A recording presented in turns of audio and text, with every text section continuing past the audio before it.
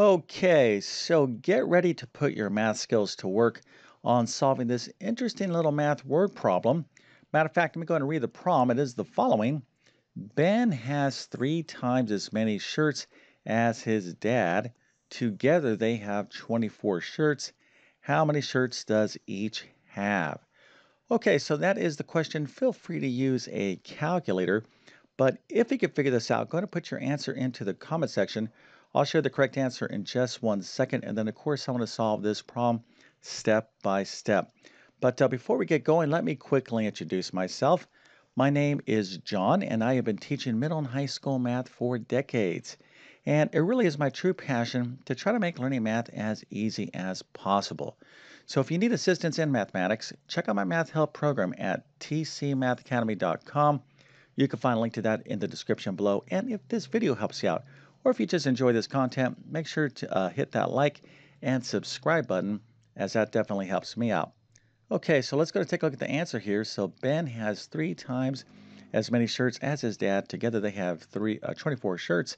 How many shirts does each have? Well, the correct answer is the following.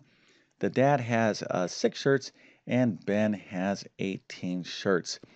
Okay, now if you figured this out, let's go ahead and celebrate by giving you a nice little happy face, an A plus, a 100%, and multiple stars. So you can brag to your friends and family that indeed you are a certified professional expert in mathematics and figuring out basic math word problems. Now notice that I didn't say this is an algebra uh, word problem. Then say, hey, figure out this algebra word problem. Now I'm going to be using algebra to solve this problem because algebra is such a powerful tool. But you didn't necessarily have to use algebra to figure the answer out. Matter of fact, if you didn't use algebra, that is um, outstanding, okay? Because it showed me that you didn't give up and you kind of reasoned through and figured this thing out. Because we have, um, you know, we're dealing with shirts here. We're not uh, dealing with uh, values that can be like 1.3. We can't have 1.3 shirts or two fifths of a shirt. Of course, you could cut a part of a shirt off, but you know, we're dealing with nice integer whole values here. So you could just kind of run different combinations. So if Ben has three times as many shirts as a dad, if the dad has one shirt, then Ben would have to have three, but together this doesn't add up to 24. So you can just kind of run through various combinations. So if you use common sense and trial and error, that's fantastic. If you used algebra, that is great as well. But uh, this uh, problem is a perfect kind of uh, example problem, a kind of an introductory level problem to see how powerful algebra is. So let's go ahead and get going here. Of course, there's various ways to solve this problem, but I will be using algebra. Okay, so we have a math word problem, and the first thing you want to do is always use the rule of three. In other words, read a problem at least three times before you, you know, really uh, start doing anything in terms of writing out uh, uh, steps or equations. Make sure you understand the question and you know really assimilate all the details in the prompt. So the question here is how many uh, does each have? So how many shirts does each have? So when you're looking or when you're looking to answer a question, a math question that says how many of something, well that's an unknown value and that's almost a perfect clue that this could uh, be solved nicely with algebra, okay? Because we have things in algebra that are called variables, x, y, z, for example, and these represent an unknown value or a specific value. So we could use a variable here to model the unknown, and of course I'm going to be doing that, but before um, we actually establish a variable for an unknown value here, what you want to do is try to model the situation, and you know there's various uh, ways you can do that. So let me go ahead and show you my little model. Okay, so you want to, again, try to see the problem, visualize it, and this is basically what's going on here. So here is the dad, and here is Ben. So Ben has three times as many shirts because listen, Ben is young. He's got to go out and about. He's got to impress his friends with all his nice shirts. The dad, you know, maybe someone like my age, hey, you know what? as long as the shirt is nice and clean and presentable. You know, and of course, I'm speaking for myself.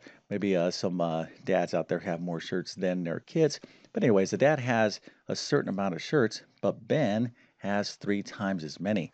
So, how many shirts does a dad have? Well, we don't know. That's an unknown value. So, if we just say, well, we'll let X equal the number of shirts that dad has, Well, if the dad has X number of shirts, then Ben has 3X number of shirts. So we'll go ahead and establish these variables right now. We'll let X equal the number of shirts the dad has, and 3X equals the number of shirts uh, Ben has. Now, we have to go back to the problem because it doesn't do us any good to just to have um, these variables. So we have x and 3x. So x and 3x, of course, we're looking to solve what these um, amounts are, but we can't um, determine the value of a variable unless we can construct an equation, okay? And of course, this is going to be very easy because we have this part of the problem. Together, they have 24 shirts. So if this is the number of the shirts uh, the dad has, this is the number of shirts uh, Ben has, and together they have 24 shirts. Well, hopefully, uh, this is pretty easy to see that we can build a lovely equation right here.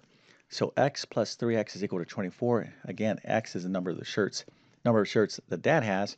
3x uh, is Ben's uh, shirts. So x plus 3x is 24. And at this point, we have a simple linear algebraic equation. So uh, we're going to go ahead and take uh, the next step, which is to solve this basic equation for x, and then of course uh, the answer will be apparent. So let's go and take that next step, which of course is having you subscribe to my YouTube channel.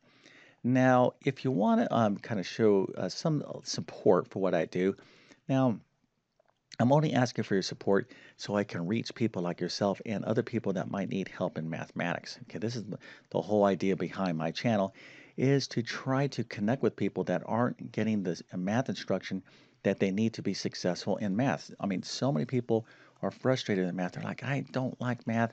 I'm bad at math. I want to quit on math. I don't want to, you know, eh, this is uh, not good. Okay. And unfortunately, you know, I've been teaching for decades and decades. I have talked to so many uh, people that have, um, you know, had such a bad experience with math 40, 50 years ago. They can remember when you know uh, some teacher told them that they were bad in math or they got frustrated they just didn't get the right support that they needed and they kind of you know uh, didn't pursue their dreams. Okay, a lot of people say ah, i wanted to be an engineer but i quit because i thought i was bad at math. So i'm trying to prevent that. I'm telling you right now 99% of you out there can be outstanding in math.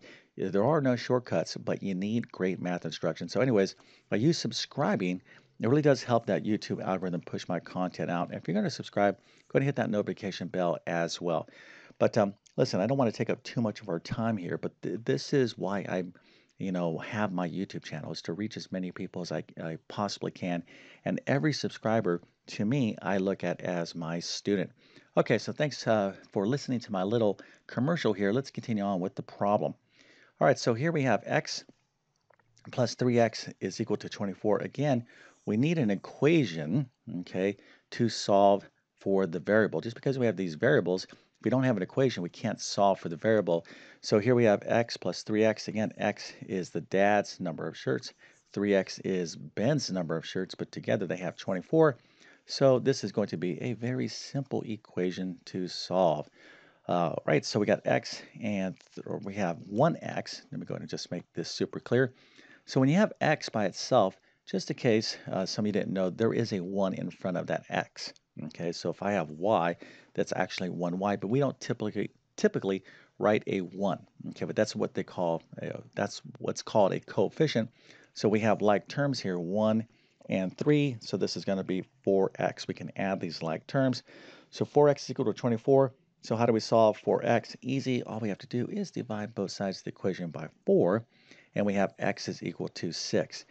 Now, if you're a little bit rusty on basic algebra, let me give you a couple quick suggestions. One, I have a ton of additional videos on my YouTube channel on all things basic math up to advanced math like calculus, everything in between. But if you need um, actual, you know, more instruction, you know, like full on instruction, and you want my best instruction, today is the last day I'm running a 50% off sale.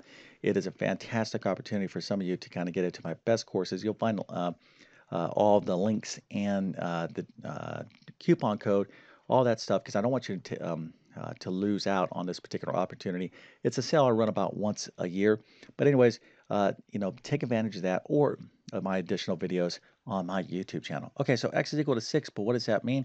Well, we have to go back to our model here, remember we said we're going to let x equals the number of dad's shirts. So we can't uh, fail to answer the question. Just because we solved the equation, we now need to answer the question. So x is equal to 6. Again, x was what uh, the number of shirts the dad uh, has. So that's 6 and 3x. Now that we know that x is 6, so 3 times 6 is the number of shirts Ben has, which of course is 18. And 6 plus 18 is 24. This all makes sense. Okay, so hopefully you can see how easy it is to solve a problem like this using algebra. But again, if you looked at this problem and just kind of reasoned through it because you were like, yeah, I don't know, you know, you're not thinking in terms of algebra, but you're like, I could solve this, you know, I can, you know, I have the common sense and, you know, logic uh, to solve this, and that is that is fantastic, right? That's what you should always do because math, okay, math problems can be solved in a variety of ways, and that's where there's kind of a creative process here. So for those of you that didn't use algebra but still solve this problem, again, fantastic. Okay, so with all that being said, I definitely wish you all the best in your mathematics adventures. Thank you for your time and have a great day.